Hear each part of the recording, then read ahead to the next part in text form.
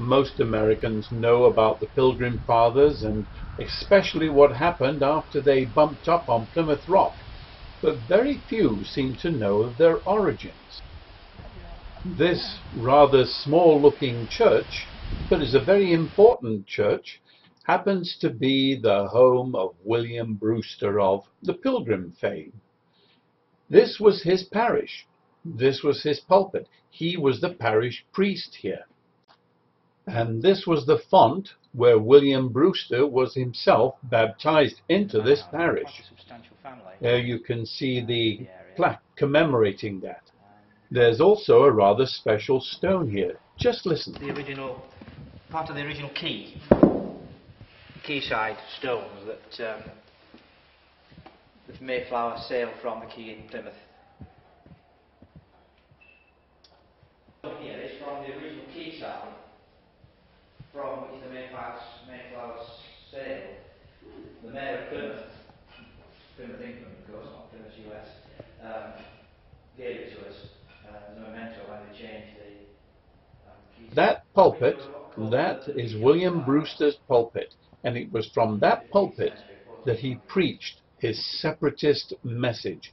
It didn't exactly endear him with the Church of England authorities.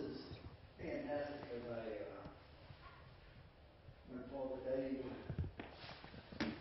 my grandmother married Brett. And of course, another radical American couldn't resist getting into William Brewster's pulpit to do a little bit of hell, fire, and brimstone preaching himself. Indeed. 1400s, 1500s, so on. They, That's They were very strict. you will not fall asleep. Well, you should have a rule like that in your place, Bill. We should. I, I usually fall asleep during his sermon. Yeah, because I call and I said, I said, any time I mention about sin, and you stand up and take a bow. Well, that'd be a good example, you know. Well, you, if you go to any church or building, you see a square-headed window like that. You're talking about the, Tu- the, the Tudor style, around about 1500, 1600. So that, that gives you. So this, this church was built when? The original church was around the, the, the, the 12th century, 12, 1150. Hmm. But it was much changed in the 13th century. Um, the, most of what you see now is the 13th century.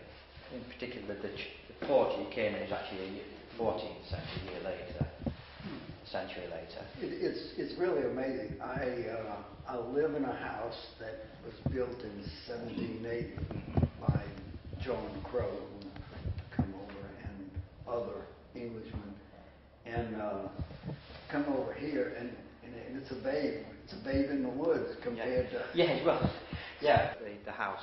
It's called Brewster's house, though he never ever lived there. That some wide, some wide person decided that they'd try and sell it as a, a tourist attraction. Oh, yeah. well, they're But always it- enterprising. It is contemporary with him, but it, you know, it is a 1990, 1590 house. But it, it's, it's not really Brewster's house. It was, the, uh, you know, it, it was the curate's house. He lived there. You can always say, you can always tell, if you go to any house, always it Tudor because you have that overhang, square and an overhang. So if you go to a, a mansion or a great house, that's how it's tucked Tudor built. If it's an original.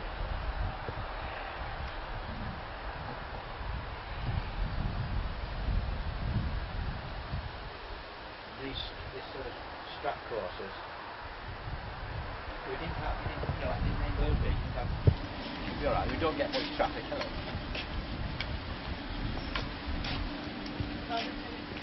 So if you just go a little further up, um, see. Do you want me to take your papers and put them in the car?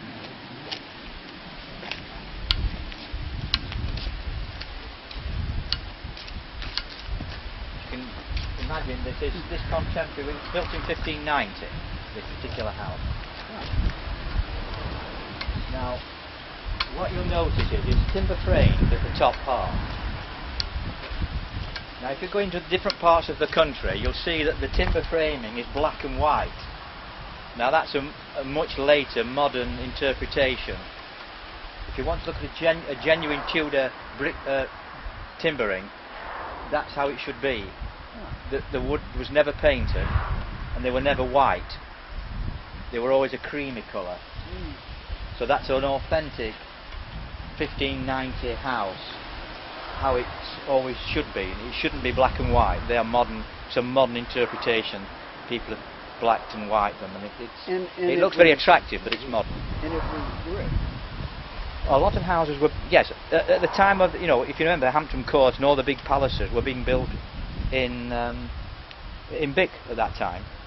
Um, so yeah, It was expensive. Only the rich at the time. could only people like it. Cardinal Wolsey and uh, Thomas Cromwell could afford that Aye. and the, um, to build. So brick was becoming the build, you know, the go-to building. Yeah. So most of these was they still hung on to some of the old traditions of